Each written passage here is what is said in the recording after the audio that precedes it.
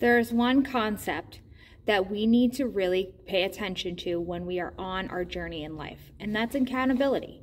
Whether you're doing it in fitness, nutrition, relationships, work, anything in life, accountability is key to help you be successful in your goals and everything you do.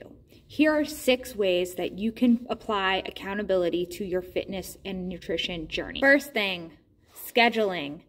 Whether it's meal prepping or going to the gym, you always should make a scheduled time in your day to do these things.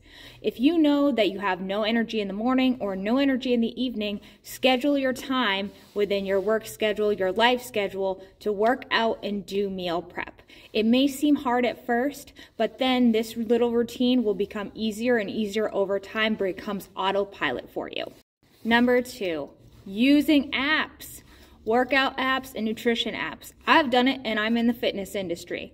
So don't be afraid to use the technology that you have in 2023. There's plenty of apps out there like JE Fit, Lifesum, Better Me that can help keep you accountable for nutrition and fitness and have good sources for workouts and recipes that can help you go to a better path of eating and working out.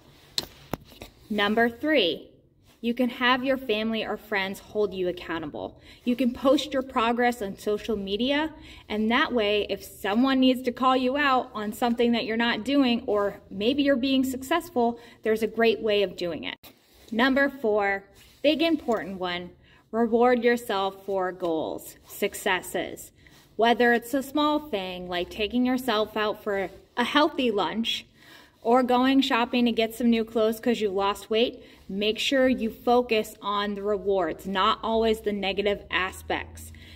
Number five, get an activity tracker. We're in 2023, like I said, Apple, Fitbit. I know a lot of clients here use these. These are great ways to monitor your activity and also see some progress. Final thing, take progress photos from start to finish.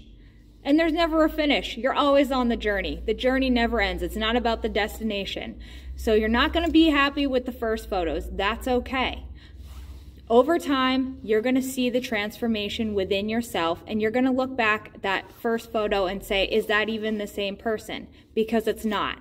Just to keep in mind, we're always changing, we're always evolving, and the journey can be a bright one, but you need to be accountable. Thanks for watching.